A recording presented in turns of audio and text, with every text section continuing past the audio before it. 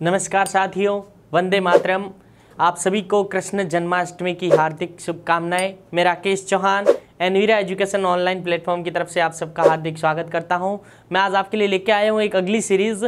इससे पहले हमने मात्रक तथा राशियों के दो पार्ट पढ़ लिए थे। उनमें हमने जाना सामान्य मात्रक को कैसे व्युत्पन्न किया जाता है और छोटी राशि से बड़ी राशि यानी छोटे मात्रक से बड़े मात्रक में परिवर्तन करना। और आज की क्लास में हम पढ़ेंगे ताप से संबंधित कुछ ऐसे मात्रक। आपको पूछ लिया जाए फेरेनाइट में इतना है तो डिग्री सेल्सियस में कितना होगा? यानी ताप के मात्रकों का परिवर्तन और ताप के मात्रक। तो आज की क्लास में हम पढ़ेंगे ताप के मात्रक। ताप के मात्रक। ताप के मुख्यतः मात्रक आपको पूछ ले तो चार प्रकार के होते हैं। कितने प्रकार के होते हैं? चार प्रकार के मात्रक होते हैं ताप के सबसे पहला केल्विन। केल्विन, जिसको आप शो करोगे के से। पहला है केल्विन। पहला केल्विन, दूसरा सेल्सियस।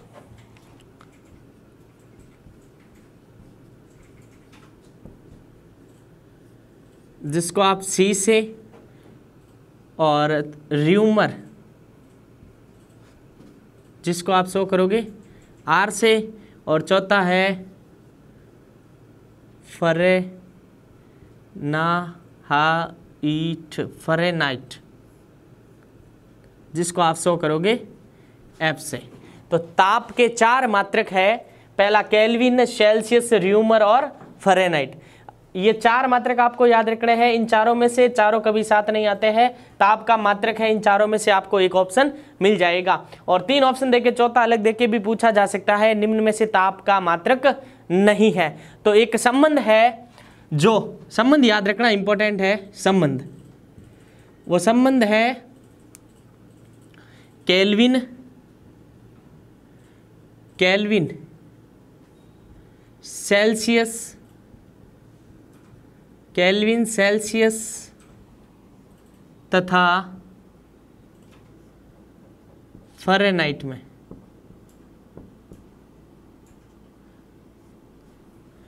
में। इन तीनों में एक संबंध है। अगर वो संबंध आप याद रख लेते हो तो आपको अगर कोई भी राशि दी जाए, जैसे फरेनाइट में दे दी, डिग्री सेल्सियस में चेंज करनी है तो आप आसानी से कर पाओगे। यानी वो संबंध है पाँच बट्टा नौ।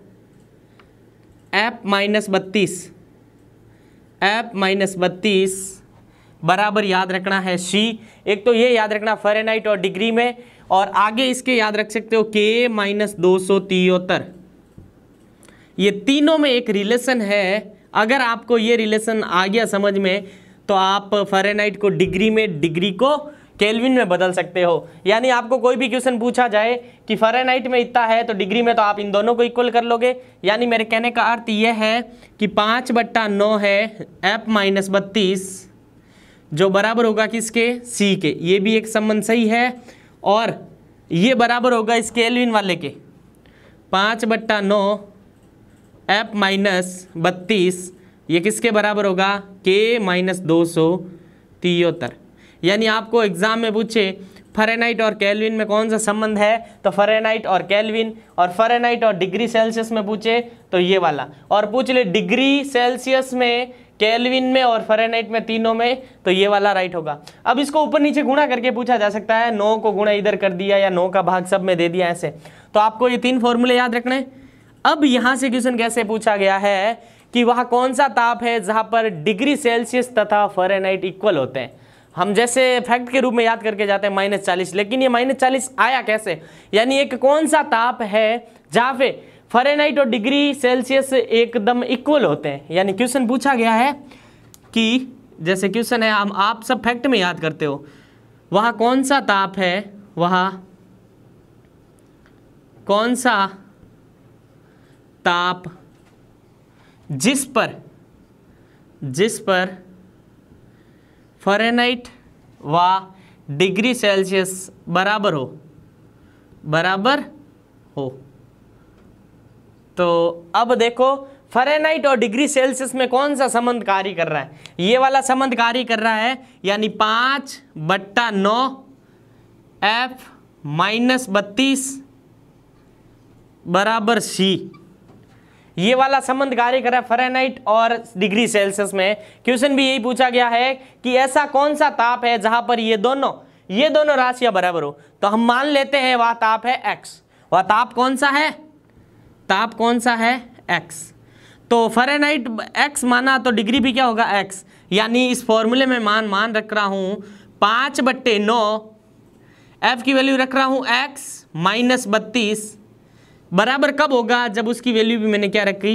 एक्स अब आप गणित के स्टूडेंट हो, चाहे आसानी से इनको सरल कर सकते हो, कुछ नहीं गुणा करना, इधर ध्यान देना, जैसे पाँच एक्स माइनस बत्तीस को पाँच से गुणा, दस और एक हसल पंद्रह और एक सोलह, एक सौ साठ। बराबर, ये नौ गुणा, नौ भाग में थे, इधर क्या आ जाएँगे? गुणे में, यानी नौ एक्स अब हमारे पास माइनस का एक सौ साठ पड़ा है। नौ एक्स और ये प्लस का इधर आएगा तो माइनस का पाँच एक्स नौ में से पाँच गए तो कितने हो जाएँगे? चार एक्स बराबर माइनस एक सौ साठ। अब ध्यान देना, x की वैल्यू हमें निकालनी है तो x बराबर 160 माइनस का बट्टा चार। चार चौके सोलह, ज़ीरो का ज़ीरो। तो ये फैक्ट के रूप में पूछा जाता है कि वह कौन सा ताप है जहाँ पर फरेनाइट और डिग्री सेल्सियस का मान इक्वल होता है। तो हमने शुरुआत में उस ताप को क्या माना? एक्स क्या माना? एक्स यानी एक्स बराबर कितना आया? 40 अगर मैं माइनस का 40 यहाँ पे रखूँ तो ये और ये राशि क्या आएगी? बराबर आएगी। क्या आएगी? बराबर। तो इस प्रकार ऐसा ताप माइनस चालीस डिग्री है, जाफरानाइट और डिग्री सेल्सियस क्या होते हैं? बराबर। हम इसी प्रकार के क्वेश्चन आगे और करेंगे। अब हम ताप से परिवर्तन से संबंधित दो क्वेश्चन करते हैं, फरेनाइट को डिग्री में और डिग्री को फरेनाइट में। वह ताप जिसका मान फरेनाइट तथा केल्विन पर बराबर होता है, इस टाइप का क्वेश्चन भी पूछा जा सकता है। तो वह कौन सा ताप है जिसका मान फरेनाइट और केल्विन? तो यहाँ से चेक कीजिए, फरेनाइट और केल्विन में कौन सा संबंध है? तो ये वाला संबंध लेना है। तो फेरेनाइट और केल्विन में पहला सरल कर रहा हूँ। फेरेनाइट और केल्विन में क्या संबंध है? पाँच बट्टे नौ एफ़ माइनस दो सौ एफ़ माइनस बत्तीस सॉरी बराबर के माइनस दो सौ तिहत्तर। ये किसमें है? कैलविन और फरेनाइट में संबंध। और पूछा गया है कि बराबर होते हैं, एक ऐसा कौन सा टेम्परेचर है जहाँ पे ये बराबर होते हैं? तो आप यहाँ क्या मान लो? एक्स तो आप, आपने क्या माना है? X तो x रखो, पाँच बट्टा नौ एक्स माइनस बत्तीस। बराबर के की जगह रखो, x माइनस दो सौ तिहत्तर। सरल करना है, पाँच एक्स माइनस गुणा करो एक सौ साठ, और ये नौ गुणा हो जाएगा इस पूरी संख्या से x माइनस दो सौ तिहत्तर से। पाँच एक्स का पाँच एक्स माइनस एक सौ साठ का एक सौ साठ। नौ एक्स का नौ एक्स पाँच चार और दो, यानी चौबीस सौ सत्तावन, नौ तीस सत्ताईस, दो तिरसठ, पैंसठ, ठीक है। तो यहाँ पे पाँच एक्स इधर आ जाएगा तो नौ एक्स माइनस पाँच एक्स बराबर। ये पड़ा है माइनस का दो सौ, सॉरी, ये इधर आएगा, ये उधर जाएगा तो दो सौ, दो हज़ार चार सौ सत्तावन माइनस एक सौ साठ। नौ एक्स में से पाँच एक्स गए तो बचा चार एक्स। चौबीस सौ सत्तावन में से एक सौ साठ जाएँगे तो कितना बचेगा? चौबीस सौ में से एक सौ साठ लगभग निकाल लो आप। सात, नौ, दो और दो। अब आप इसको आसानी से सरल कर सकते हो। x बराबर बाईस संताणु बट्टा चार। यानी इसको सरल करोगे, जो टेम्परेचर आएगा वहाँ पे फरेनाइट और कैलविन क्या होंगे? इक्वल होंगे। मैं दूसरे क्वेश्चन की ओर बढ़ रहा हूँ। ये आपको केवल एग्ज़ाम्पल के माध्यम से समझाने की कोशिश कर रहा हूँ कि आप फरेनाइट को डिग्री और डिग्री को फरेनाइट या फरेनाइट और डिग्री में ऐसा कौन सा ताप है जिसमें इक्वल होते हैं? आगे हम पढ़ेंगे चेंजेस करना। लेकिन इन क्वेश्चनों के माध्यम से आप समझने की कोशिश करो।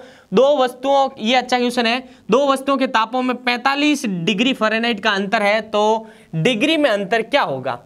फेरेनाइट और डिग्री की बात करें ये रहा फेरेनाइट और ये रही डिग्री यानी दूसरे क्वेश्चन का सरलीकरण पाँच बट्टा नौ, यहाँ पर मैं ले लेता हूँ एफ़ को, और इसको अंदर गुणा कर लेता हूँ, इसको यही छोड़ता हूँ, ध्यान देना ऐसे जैसे पाँच बट्टे, एक संबंध आपने पढ़ा होगा, पाँच एफ़ बराबर नौ सी तो यहाँ से एफ़ बट्टा सी की वैल्यू निकालनी है एफ़ बट्टा सी तो नौ बट्टा ये आ जाएगा पाँच। यानी एफ़ की वैल्यू नौ है और सी की वैल्यू क्या है? पाँच। यानी पाँच एप बराबर नौ सी और यहाँ से ये एफ़ बट्टा नौ और ये हो जाएगी सी बट्टा पाँच। ये याद रखना एक और संबंध फेरेनाइट और डिग्री में सॉरी फेरेनाइट और डिग्री सेल्सियस में। अब पूछा जा रहा है आपको फेरेनाइट की वैल्यू दे रहा है पैंतालीस डिग्री फेरेनाइट तो एफ़ की जगह रख दो पैंतालीस। नौ का नौ। सी का सी और पाँच का पाँच। नौ पंजे, पैंतालीस और सी बराबर हो जाएगा पाँच इंटू पाँच। पाँचम पच्चीस। तो वह ताप कितना होगा? पच्चीस डिग्री। दो वस्तुओं के तापों का अंतर अगर फेरेनाइट में पैंतालीस है तो डिग्री सेल्सियस में कितना होगा? पच्चीस होगा। अब हम कुछ ऐसे उदाहरण पढ़ेंगे जो आपको डिग्री में दे रखा है उसको केल्विन में और केल्विन में दे रखा उसको फेरेनाइट में। कैसे? चेंज करते हैं। अब हम करते हैं अगला क्वेश्चन। एक संबंध ये भी आपको याद रखना है सी बट्टा पाँच बराबर एफ़ माइनस बत्तीस बट्टा नौ। ये भी आपको याद रखना है, और इससे रिलेटेड क्वेश्चन ये है, किस बिंदु पर फरेनाइट ताप फरेनाइट ताप, सेंटीग्रेड ताप का, सेंटीग्रेड ताप का दो गुना होता है। तो आपको एक क्वेश्चन ये याद रखना, केल्विन के पीछे कभी भी डिग्री नहीं लगता है। ये सब ताप की इकाई के पीछे डिग्री लगता है, लेकिन केल्विन है केल्विन पर डिग्री नहीं लगता है, ये थोड़ा आप ध्यान देना। ताप की सभी इकाइयों पर डिग्री सेल्सियस लगता है, लेकिन केल्विन के ऊपर नहीं लगता है ये क्वेश्चन पूछा गया। किस बिंदु पर फेरेनाइट तथा सेंटीग्रेड ताप का दोगुना होता है? वह कौन सा ताप है जहाँ पर फेरेनाइट है जो डिग्री सेंटीग्रेड का ताप का दोगुना प्राप्त होगा? तो इस संबंध को लेते हुए मैं इस क्वेश्चन को सरल कर रहा हूँ। हमारे पास है सी बट्टा पाँच एफ़ माइनस बत्तीस बट्टा नौ। अब बोल रहा है कि फेरेनाइट ताप है जो सेंटीग्रेड से दो गुना है। फेरेनाइट एफ़ है जो सेंटीग्रेड सी है तो वो कितना है? टू सी ये वाला संबंध इसमें अप्लाई करना है इक्वेशन फ़र्स्ट में। तो सी है अपने स्थान पे पड़ा सी और ये दो गुना है मतलब टू सी और बट्टा पाँच का पाँच माइनस बत्तीस, बट्टा नौ। आसान सी कैलकुलेशन है, नौ सी बराबर दस सी माइनस एक सौ साठ। पाँच इंटू बत्तीस एक सौ साठ। और ये दस सी उधर जाएगा तो माइनस का दस सी, माइनस नौ, सॉरी, प्लस नौ सी बराबर माइनस के एक सौ साठ। माइनस दस सी में से नौ सी चले गए तो माइनस का सी और माइनस का एक सौ साठ। इस माइनस से ये माइनस कट जाएगा तो वह ताप होगा 160 डिग्री। ऑप्शन में चेक कीजिएगा 160 डिग्री है जो। फरेनाइट ताप सेल्सियस यानी सेंटीग्रेड ताप का दोगुना होता है कितने पर? 160 डिग्री ताप पर। यानी इस क्वेश्चन के अनुसार वह ताप 160 होगा, जहाँ पर फेरेनाइट ताप है तो सेंटीग्रेड ताप का कितना होगा? दो गुना होगा। कितना होगा? दो गुना अगले क्वेश्चन की बात कर रहा हूँ अच्छा क्वेश्चन है, एक स्वस्थ मनुष्य के लिए शरीर का तापमान होता है। आपको डिग्री में भी याद करना केल्विन में भी याद करना और सेल्सियस में भी याद करना, तीनों में। तो डिग्री सेल्सियस में आपको पूछा गया ऑप्शन में चारों डिग्री सेल्सियस में है तो लगभग ऑप्शन में ये आता ध्यान देना, कभी तो आता है सैंतीस। ये 36.9 देर का और 36 भी देर का, अगर 36.9 नहीं होता तो आप करते सैंतीस, लेकिन यहाँ पे 36.9 देर का है तो आपको क्या करना है? 36.9 डिग्री सेल्सियस। अगर ये ना दे के 35 यहाँ देता और यहाँ सैंतीस देता तो सैंतीस वाले करते। तो डिग्री सेल्सियस में कितना है? 36.9 डिग्री सेल्सियस, या कभी कभी आता है सैंतीस डिग्री, लेकिन यहाँ पे ये सैंतीस है दोनों है तो आपको 36.9 करना है। आगे इसी क्वेश्चन को कन्वर्ट करके पूछ लिया गया है कि केल्विन मान से मानव शरीर का तापमान कितना होगा? अगर आपके पास डिग्री सेल्सियस में गिवन है, क्या आप केल्विन में निकाल सकते हो? ये रहा संबंध। एक संबंध था, याद है? डिग्री सेल्सियस को केल्विन में बदलना, डिग्री सेल्सियस को केल्विन में बदलना, के बराबर डिग्री सेल्सियस प्लस दो सौ तिहत्तर करना। कितना करना? केल्विन में कोई भी राशि है, सॉरी, केल्विन मान से हाँ डिग्री सेल्सियस के अंदर अगर दो सौ तिहत्तर जोड़ दिया जाए तो वह राशि कन्वर्ट हो जाती है केल्विन में। किसमें? अगर यहाँ पे हमें पूछा गया है, केल्विन में। और हमारे पास डिग्री डिग्री सेल्सियस में कितना पड़ा है? छत्तीस। मैं छत्तीस को सैंतीस ले लूँ? या छत्तीस ही रहने तो छत्तीस, और इसमें दो सौ तिहत्तर ऐड करने। छः और तीन, नौ। सात और तीन, दस। एक, तीन सौ नौ। यानी लगभग अगर यहाँ सैंतीस लेते, छत्तीस पॉइंट नौ है तो हम यहाँ सैंतीस लेते तो कितना होता? तीन सौ दस। तो ऑप्शन में तीन सौ दस है कहीं पे? ये रहा तीन सौ दस। केल्विन में कितना होता है? तीन सौ दस। कितना होता है? तीन सौ दस। यानी केल्विन में 310 है, डिग्री में इतना है तो आप फरेनाइट में निकाल सकते कि नहीं निकाल सकते? ये फरेनाइट वाली वैल्यू यहाँ पे रख दो। सॉरी डिग्री वाली वैल्यू यहाँ पे रख दो। किसमें आ जाएगा? फरेनाइट में आ जाएगा। अब हम ताप से रिलेटेड कुछ फैक्ट वाले क्वेश्चन के बारे में जानकारी लेंगे। तो हम बढ़ेंगे कुछ फैक्ट पहला दे रखा है आपके। एक स्वस्थ व्यक्ति का फेरेनाइट में ताप कितना होता है? तो आपको मानव शरीर का ताप केल्विन में भी याद रखना फेरेनाइट में भी याद रखना और डिग्री सेल्सियस में याद रखना। तो यहाँ पूछा गया है आपको, एक स्वस्थ व्यक्ति का फेरेनाइट में ताप, वो याद रखना ninety eight point four Fahrenheit और केल्विन में मैंने बताया था तीन सौ दस केल्विन इसके पीछे कभी भी डिग्री नहीं आता, ये थोड़ा याद रखना। डिग्री कभी नहीं आता। कभी नहीं आता। ये थोड़ा याद रखना कि डिग्री इसमें कभी भी नहीं आता है और फेरेनाइट हो गया केल्विन हो गया, डिग्री में पूछे तो अभी हमने पढ़ा था 36.9 डिग्री सेल्सियस या ऑप्शन में आपको मिले सैंतीस डिग्री सेल्सियस।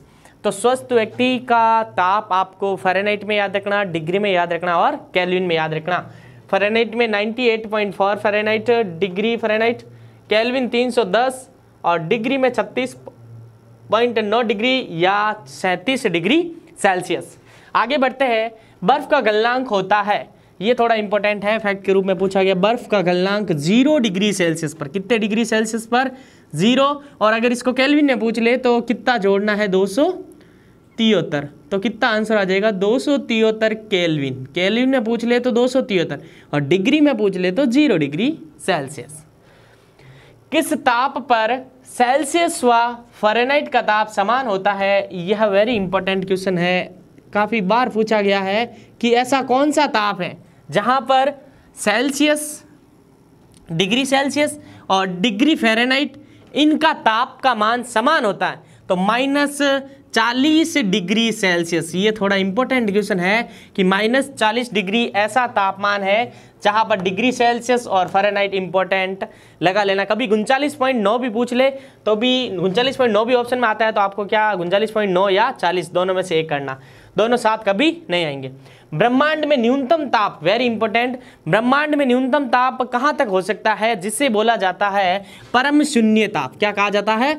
परम शून्य ताप वो होता है माइनस दो सौ तिहत्तर डिग्री सेल्सियस। क्या होता है?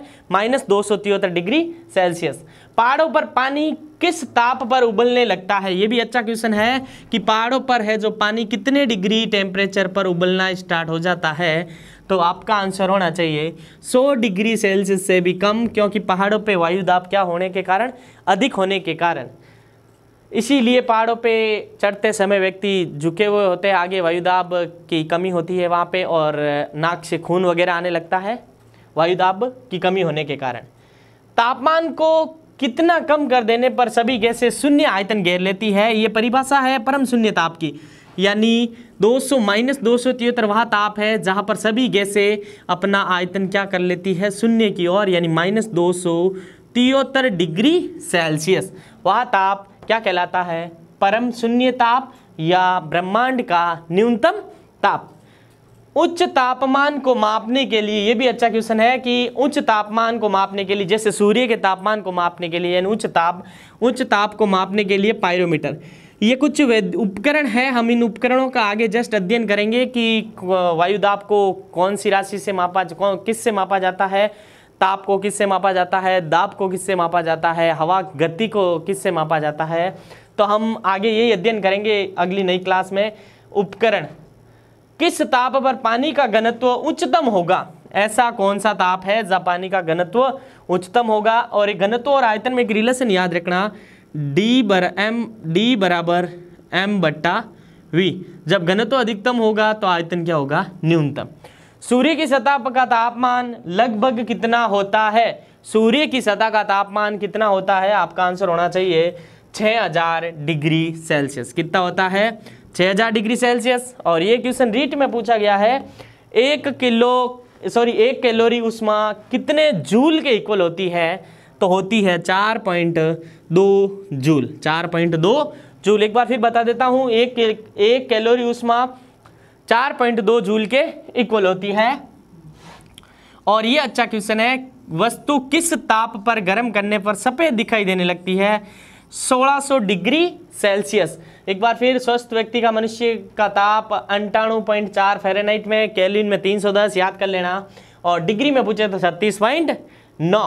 बर्फ़ का गलनांक ज़ीरो डिग्री सेल्सियस और कैलविन में पूछे तो दो सौ तिहत्तर, क्या कर देना? ऐड कर देना। और एक ऐसा टेम्परेचर जहाँ पे सेल्सियस तथा फेरेनाइट इक्वल होते हैं, वो है माइनस चालीस डिग्री सेल्सियस। और ब्रह्मांड का वहाँ न्यूनतम ताप तो माइनस दो सौ तिहत्तर, जिसे क्या कहा जाता है साथियों? परम शून्य ताप। पहाड़ों पर पानी उबलने लगता है 100 डिग्री से भी कम तापमान पर क्यों? वायुदाब की कमी। और वहाँ पे मनुष्य के नाक में खून वगैरह आना आंसर क्या होना चाहिए? वायुदाब की कमी के कारण। तापमान को कितना कम कर देने पर सभी गैसें अपना शून्य आयतन गे लेती है। इसी को बोला जाता है परम शून्य ताप माइनस दो सौ तिहत्तर डिग्री सेल्सियस। उच्च ताप को मापने के लिए युक्त उपयोगी ली, ली जाने वाली राशि पायरो। मीटर किस तापमान पर पानी का घनत्व ये रहने दो। और सूर्य की गति का तापमान लगभग 6000 डिग्री सेल्सियस और ये रीट में पूछा गया क्वेश्चन एक कैलोरी उष्मा 4.2 जूल के बराबर होती है और वह ताप जहाँ पर वस्तु सफ़ेद दिखाई देने लगती है, गर्म करने पर 1600 डिग्री सेल्सियस। तो आज के क्लास में हमने ताप से संबंधित उनके मात्रक और उनसे बनने वाले क्वेश्चन का क्या क्या है? अध्ययन क्या है? आगे आने वाली क्लासों में हम उपकरण के बारे में जानकारी पढ़ेंगे कि कौन से उपकरण द्वारा वायु दाब को मापा जाता है, कौन से उपकरण द्वारा वायु की गति को मापा जाता है। और अगर आप इस चैनल पर नए हैं तो चैनल को सब्सक्राइब कीजिए और वीडियो अच्छा लगे तो लाइक कीजिए और अपने दोस्तों के साथ भी शेयर कीजिए। और वीडियो के नीचे दे रखे लिंक से आप हमें फेसबुक और इंस्टाग्राम पे फॉलो कर सकते हैं। मैं आपसे विदा लेता हूँ। धन्यवाद।